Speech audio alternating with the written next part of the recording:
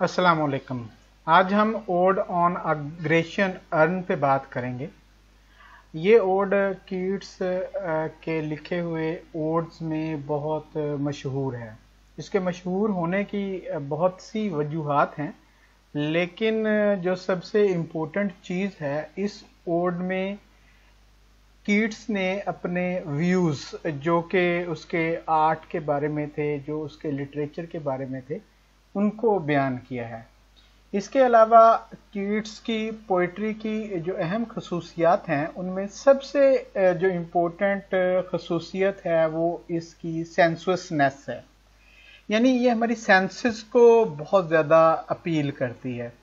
और कीट्स ने इस किस्म के इमेजेस अपनी पोएट, अपनी पोइट्री में स्पेशली अपने ओड्स में क्रिएट किए हैं जो हमारी इमेजिनेशन को कहीं से कहीं ले जाते हैं और हमें उस सारी की सारी ब्यूटी को उस सारे के सारे कॉन्सेप्ट को समझने के लिए अपने डे टू डे एक्सपीरियंसेस से जो है वो बाहर निकलना पड़ता है।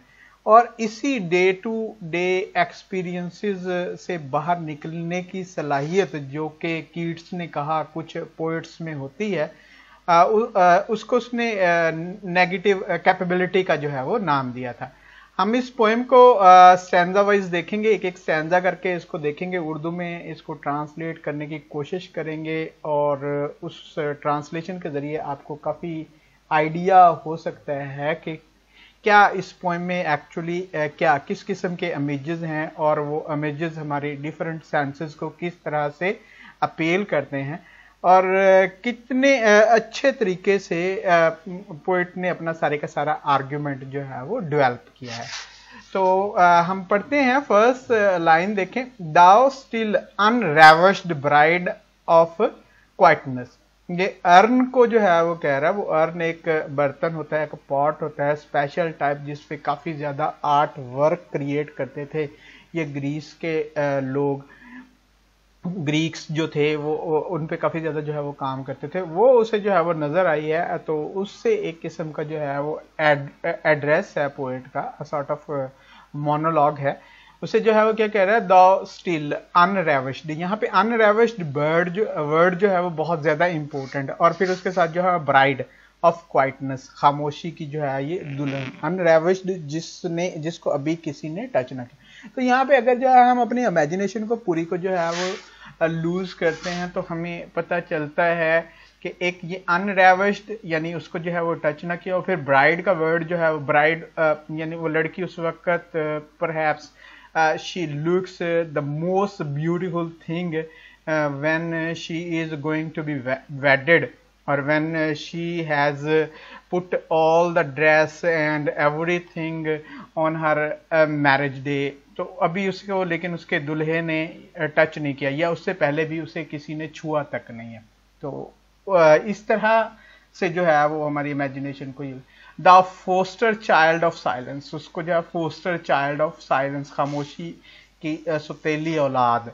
एंड स्लो टाइम और वक्त जो गुजरता है, आहिस्ता आहिस्ता जो है गुजरता है।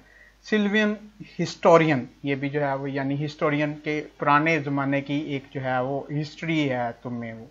Who canst thus express a flowery tale more sweetly than our rhyme यहाँ पे कीट्स अपनी लैंग्वेज इंग्लिश लैंग्वेज को जो है वो एक किस्म का ट्रिब्यूट पेश कर रहा है कि किसी दूसरी लैंग्वेज में इतनी ज़्यादा कैपेबिलिटी नहीं है, किसी दूसरी लैंग्वेज में इतनी ज़्यादा सलाहियत नहीं है कि वो इस किस्म की टेल को, इस किस्म की कहानी को इतने स्वीट अंदाज में एक्सप्रेस कर सके जितना कि जो है वो इंग्लिश पोइट्री जो है वो कर सकती है। आगे उसको देख के जो है what leaf fringed legends haunts about the shape यानी ये क्या वो किस किस्म की लेजेंड्स हैं? या लीफ फ्रिंग्ड बड़ा इंपॉर्टेंट जो है वर्ड है? हॉन्ट भी बहुत ज़्यादा हॉन्ट आपको पता है आसेब ज़्यादा जगह को बोलते हैं कि ये तुम्हारी जो शक्ल है इसके पीछे जो है वो किस किस्म की लेजेंड्स हैं किस किस आ, कैसे आर्टिस्ट जो है वो तुम्हारी इस शेप को देने के काबिल जो है वो। और it is very much important कि आप जब इस अर्न की शेप को देखते हैं it is very much female like बहुत ज़्यादा खातून की तरह से जो है वो लगती है। और ये कैसे जो है वो, यानी आर्टिस्ट जो है वो इस पॉइंट पे पहुँचे होंगे कि उन्होंने इसको एक खास इस तरीके से जो है वो शेप दिया। ऑफ़ डेट इज़ और मॉर्टल्स यानी ये देवियों के मुतालिक हैं देवताओं के मुतालिक हैं या इंसानों के मुतालिक हैं, और अब बोथ या दोनों को जो है वो मिला के।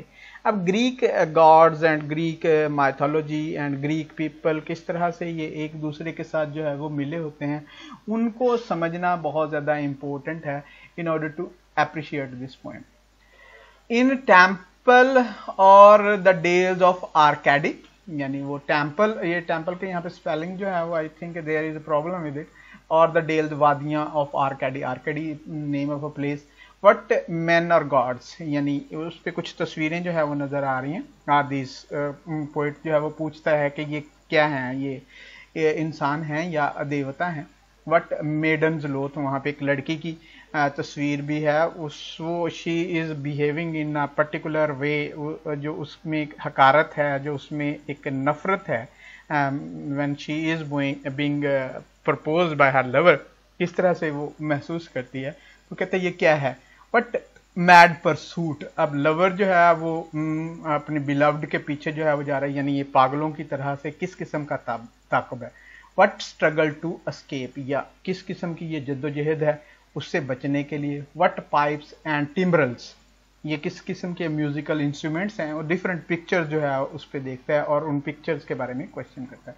वट वाइल्ड एक्सटेसी ये, यानी ये जो स्कूत है यहाँ पे, ये किस तरह का है? किस तरह से इसको जो है वो आ, सारी चीज़ों को जो है वो बनाया गया है। What does all these things mean तो पहले सैंदा में जो है पोइट ने जो है इसको इंट्रोड्यूस करवाया है अपने आ, सारे थीम को कि what he will be talking about in the rest of the poem heard melodies are sweet but those unheard are sweeter अब यहाँ पे कीट्स का जो एक आइडिया है कि the world of imagination is perfect than the real world यानी हकीकी दुनिया से जो है, वो तस्वर की दुनिया जो है, वो ज़्यादा परफेक्ट है। क्या कहते हैं? ऐसी जो मौसीकी हम सुनते हैं, वो स्वीट होती है, अच्छी होती है। लेकिन जिनको हम सुन नहीं सकते, जिसको जो है, हम सिर्फ़ इमेजिन कर सकते हैं, वो ज़्यादा स्वीट होती है। Therefore ye soft pipes play on अब वो जो म्यूज़िक प्रोड्यूस कर रहे हैं उस पर जो पिक्चर्स बनी हुई हैं, उनको जो है वो पोइट जो है वो रिक्वेस्ट कर रहा है, एक किस्म का इम्प्लोर कर रहा है कि तुम गाते रहो। Not to the sensual ear यानी तुम्हारी आवाज़ जो है, ये जो आम ह्यूमन ईयर है ये it will not be able to appreciate it ये सुन भी नहीं सकेगा बट मोर एंड डियर लेकिन क्या जो इससे ज़्यादा इंपॉर्टेंट चीज़ है pipe to the speed ditties of no tone यानी ये आवाज़ जो है, इस तरह से कि इसकी जो है, वो कोई जो समझ नहीं सकता, जो सुन नहीं सकता, लेकिन वो इमेजिनेशन के ज़रिए इसको सुनता है। Fair youth beneath the trees अब वो नौजवान जिसकी तस्वीर बनी हुई है, उसे जो है fair youth beneath the trees उसे कह रहा है कि दरख्तों के नीचे the canst not leave thy song कि तुम अपना गीत जो है, वो नहीं छोड़ सकते। ये तुम्हारा गीत जो है वो तुम्हारे साथ रहेगा। Nor even can those trees be bare दरख्तों से कह, कह रहा है कि ये दरख्त जो है वो कभी भी इनके पत्ते जो है वो नहीं गिरेंगे कभी भी इन पे जो है वो खजा नहीं आएगी। पोइट एक्चुअली जो है वो want us to understand that the world of art is perfect and permanent and forever वो हमेशा के लिए है। इंसान आते हैं चले जाते हैं चीज़ें जो है वो चेंज होती चली जाती हैं। जो जो लेकिन आर्ट में जो है वो क्रिएट हो जाता है वो उसी तरह से रहता है। Bold lover never never canst canst doubt kiss वो जो मोहब्बत करने वाला उसे जो है वो कह रहा है कि तुम कभी भी किस नहीं कर सकोगे यानी तुम अपनी डिज़ायर uh, को फुलफिल जो है वो कभी नहीं करेंगे। The winning near the goal yet do not grieve अगरचे तुम अपनी मंजिल के बहुत करीब हो लेकिन इसके बावजूद ये कि तुम्हारी विश जो है वो पूरी नहीं होगी, तुम्हारी डिज़ायर जो है वो पूरी नहीं होगी तुम्हें इस बात पे जो है दुख नहीं करना चाहिए। शी कैनॉट फेड यानी ये हमेशा तुम्हारे सामने रहेगी, यहाँ से कहीं जाएगी नहीं। द दो दाव हैज़ नॉट दाई ब्लिस अगरचे तुम्हें वो तुम्हारी नेमत नहीं मिलेगी, यानी तुम लव की जो फुलफिलमेंट है वो नहीं होगी, लेकिन she will stay in front of you forever forever wilt the love यानी हमेशा तुम इससे मोहब्बत करोगे and she will be fair she be fair, और ये जो है वो खूबसूरत रहेगी। यानी इसके, इसमें किसी किस्म की चेंज जो है वो नहीं आएगी। वही आर्ट और लाइफ का आपस में जो है वो कंपेयर कंपैरिजन किया जा रहा है कि आर्ट में चीज़ें जो हैं वो परमानेंट हैं। नेक्स्ट सेंजा जो है स्टूडेंट्स इसमें देखें किस किस्म की रेपिटेशन है। हैप्पी हैप्पी बाउस शाखों को जो है वो कह रहा है खुश, और ये रेपिटेशन जो है वो नोट करने वाली है। दैट कैनॉट शेड अब ये जो है, वो नहीं गिरा सकती। योर लीव्स अपने पत्ते, यानी उनके पत्ते हमेशा रहे। Never bid the spring adieu मौसम बहार को कभी भी जो है, खुदा हाफिज नहीं कह सकती। मौसम बहार जो है, वो हमेशा रहेगा। एंड हैप्पी मेलोडिस्ट अनवेरिड और वो जो वहाँ पे गाना गा रहा है वो भी नहीं थकेगा। बिल्कुल अपने जो है, वो काम में जो है, वो लगा रहेगा इसी तरह। Forever piping songs forever new यानी ये गीत जो है, वो जो गाया जा रहा है और हमेशा जो है, वो यह नया रहेगा। यहाँ पोइट जो है वो शायद सजेस्ट ये कह रहा है कि different people coming in different periods of time when they will see this pipe they will have different imagine perhaps they will associate the very famous songs of their own time to the singer वो उसके साथ associate करेंगे कि ये ये वाला गीत जो है वो गा रहा होगा। इसी तरह से पर्सन टू पर्सन जो है वो भी वेरी करेगा।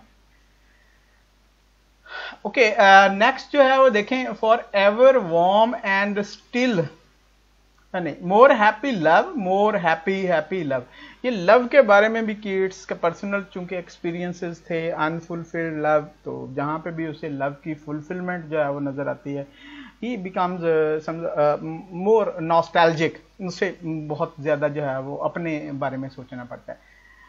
Forever warm and still to be enjoyed यानी ये हमेशा वॉर्म रहेगा, ये जोश कभी ख़त्म नहीं होगा। और क्योंकि अगर विश जो है वो फुलफिल हो जाए, पूरी हो जाए तो उसकी सिग्निफिकेंस जो है वो ख़त्म हो जाती है। अमूमन जो है विश की फुलफिलमेंट जो है वो हमें बोर्डम और एग्जॉशन जो है वो देती है। लेकिन विश जो है वो अगर स्ट्रांग रहे तो उसमें जो है वो एक अजीब, और फुलफिल ना हो, उसमें एक अजीब किस्म की इंजॉयमेंट होती है। उसके बारे में बात किया।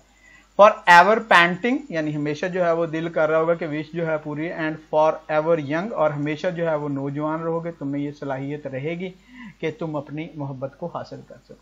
All breathing human passion for work यहाँ पे लाइफ के साथ जो है वो इसको कंपेयर किया जा रहा है कि इंसानों के जो पैशन हैं, उनके साथ जो है वो प्रॉब्लम ये है कि with the passage of time they become damp वो सुस्त पड़ जाते हैं, जैसे जैसे जो है वो वक्त गुजरता है।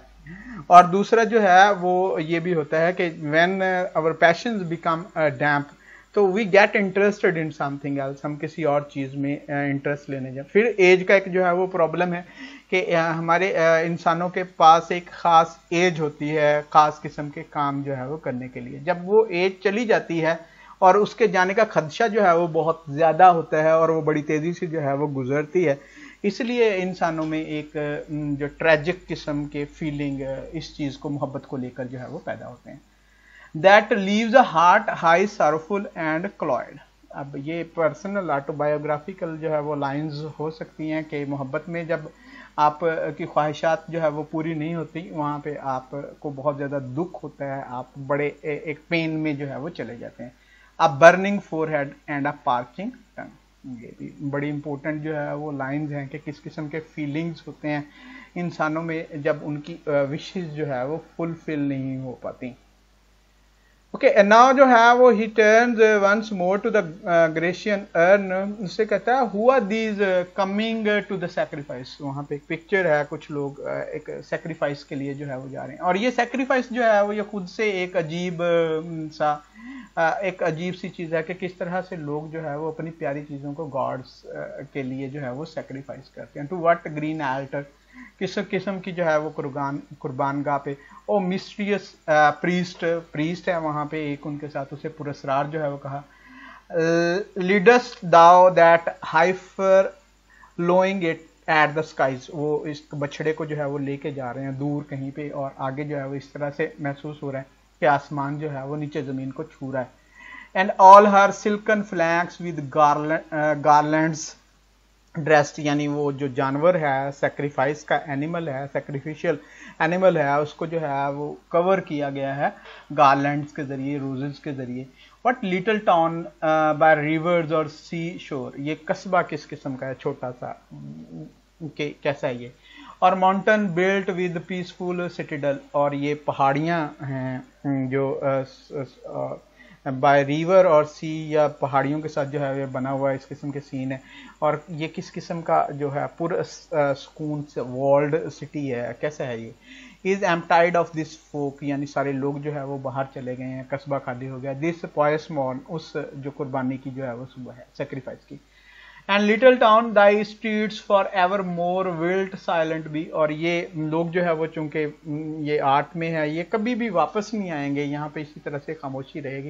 And not a soul to tell why thou art desolate यानी कोई बताने के लिए भी नहीं होगा कि तुम खाली क्यों। कैन एवर रिटर्न कोई भी वापस नहीं आएगा। सब लोग जो है वो, क्योंकि आर्ट में परमानेंट चीज़ें हैं, हमेशा के लिए जो है वो हो जाती हैं। वो Attic shape this is very much important कि अब उसे जो है वो एटक शेप जो है वो कह रहे हैं। Fair attitude with bread of marble men and maidens overall यानी क्या बना हुआ है उस पर जो है वो संगे मरमर के मर्द और जो है वो लड़कियाँ उस पर कंधा की गई हैं, उस पर बनाया गया है। With forest branches and the trodden weed यानी यहाँ पे हम कीट्स की जो सेंसिबिलिटी है, उसकी जो परसेप्शन है, उसकी जो इमेजिनेशन है, उस पर बहुत ज़्यादा कंसंट्रेट करने की जो है वो ज़रूरत है कि किस तरह से उसने छोटी छोटी डिटेल्स दे के इस पोएम को इतना ज़्यादा खूबसूरत बनाया है। कि आज भी हम जब इसे पढ़ते हैं तो ख़ास किस्म की वर्ल्ड में हम जो है वो ट्रांसपोर्ट जो है वो हो जाते हैं। अच्छा क्या है जो कि ट्रोडन वीड यानी उस पर पाँव के निशानात हैं और वो दरख्त की जो है वो शाखें हैं। Thou silent form dost tease us out of thought यानी उससे अर्न को जो है वो कहा जा रहा है, उसे साइलेंट फॉर्म साइलेंट फॉर्म बोला कि कुछ बोलती नहीं। और tease us out of thought यानी क्या होता है कि हमें जो सोचने की आदत है, उससे हमें जो है वो बाहर निकालती है। एज डोथ एटर्निटी यानी जिस तरह से एटर्निटी जब अब्दियत के बारे में हम सोचते हैं वही फीलिंग ग्रेशियन अर्न को देखकर होते हैं, जो अब्दियत के, अब्दियत को देख के होते हैं। Cold pastoral cold pastoral pastoral कोई भी चीज़ देहात के मुतालिक होती है। कोल्ड जिसमें किसी किस्म के जो है वो फीलिंग नहीं होते। When old shall this generation waste अब, क्या मैसेज जो है वहाँ से जो है वो आया है कि जब लोग जो है वो बूढ़े हो जाएँगे ये नस्ल बढ़ापे की वजह से जो है वो ज़ाया हो जाएगी। दो शैल टर्मेन ये अर्न जो है वो रहेगी। इन मिडस्ट ऑफ़ अदर वो ये दुनिया के जो सारे दुख हैं तकलीफ़ें हैं the than ours a friend to man यानी हमारे नस्बत। यानी इंसानों के तुम दोस्त टू होम दाओ सेस्ट इंसान से यानी जो है ये कहती है। Beauty is truth truth beauty that's that is all ये बहुत इंपॉर्टेंट लाइन्स हैं. They are perhaps one of the most quoted lines in the whole literature English literature के ब्यूटी इज़ ट्रूथ यहाँ पे उसका जो है वो आइडिया भी है इस आर्ट uh, के बारे में लिटरेचर और लाइफ का जो है वो आपस में आर्ट और लाइफ का आपस में जो रिलेशनशिप है उसके बारे में. हम इस uh, से डिसएग्री कर सकते हैं कि ब्यूटी इज़ ट्रूथ कि ब्यूटी जो है वो खूबसूरती सच है ट्रूथ ब्यूटी और सच जो है वो खूबसूरती है।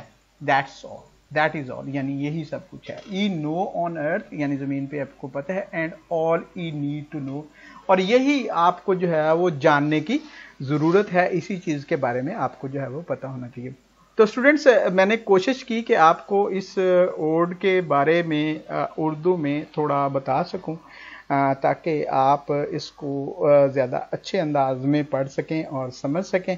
I'll be working on this kind of videos in future as well if you think this kind of videos are useful for you and they can help you in understanding literature you should subscribe my channel on YouTube the name of my channel is admit public अल्लाह हाफिज़